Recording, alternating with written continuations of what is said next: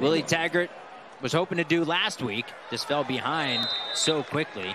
And this time he's dropped in the backfield. Jonathan Butler and Jordan Ferguson combined for the TFL.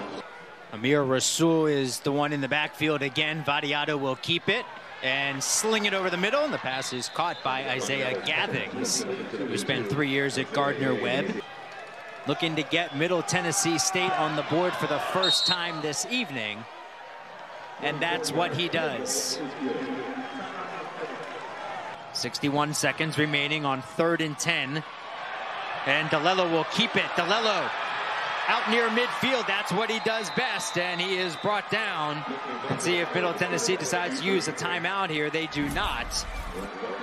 On a monster run for 12 and white, 31 yards. A good read from DiLiello on the zone read. Keep it. Have that long run of 31. He'll flip it to Lane, who will flip it back. And there goes Ali, Yusuf Ali across the 40 and across midfield. Ali with a head of steam across the 30 following the blocker. Just using Jimmy Marshall directing him in which way to go. And a big play on first down for the Blue Raiders.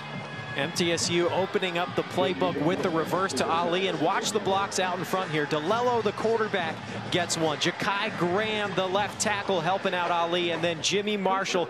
Good job by Ali using those blocks. 60 yards on first down, and there goes DiLiello, and then he is tripped up. Got that jumbo backfield, and there goes DiLiello, and he is Touchdown. in the end zone. Tennessee. One yard run. Little delayed call from the officials, and Mike DiLiello has Middle Tennessee back in this one. Sets up the touchdown. It's Mobley on the previous play coming right up the middle. He at the five yard line, he's in that pile. And then Mobley driving his legs in the offensive line, pulling him along, gets him inside the one. There's Perry under pressure. DQ Thomas takes him down. Quarterback sack. By number 20, His fourth sack of the season. Get off a final play before the end of the quarter. And a big handoff to Martell Pettaway. Pettaway still going across midfield, and he never went down. Pettaway keeps his feet, using FAU defenders to roll his way all the way down inside the 10. Wow. Watch Martell Pettaway. Breaks one tackle there. Think you got him? Nope. 65 yards using TJ Young to help him out along the way. And it is a 17-13 game. Got 16 and a half tackles for a loss on the season. Does Ferguson a team high seven and a half sacks. Lane lets it bounce and Lane has it across the 40-yard line. Jaylin Lane, second in the country in yards per punt return, has himself a beauty here. Third and five. He's got all day. Over the middle, that's a first down and more. Isaiah Gathings driving those legs. Are you kidding me? Inside the 10. Got that jumbo package in here with the defensive linemen in as eligible receivers. Wow! And it pays off. Are you kidding? Zaylin Wood for the touchdown. 96 in white, right side of the screen. And look at this throw by DiLiello with Lassiter all over him. And an outstanding catch by Zaylin Wood. His teammates looking to get a big win of his own.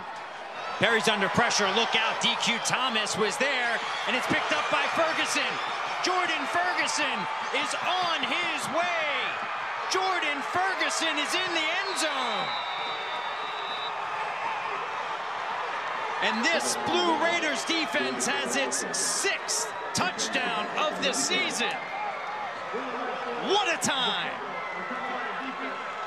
And Jordan Ferguson, the all-everything defensive end, likely gives Middle Tennessee State another week of football. Look at Jordan Ferguson rumbling down the field. What a game he has had with the flu, a 6'2", 262-pounder from Atlanta, Georgia. Perry's under pressure again. Has to just loft it up and it's picked. And that'll do it. Great, great. The interception. The 16th of the season for Middle Tennessee and for Great his third of the year. Blitz coming right up the middle, 42 in white, causing that pressure. Great game from Ferguson. That's every coach's favorite formation. And Rick Stockstill picks up win number 100 in a game that makes Middle Tennessee bowl eligible. And for FAU, a deflating end to a season that started five and three and finishes five and seven.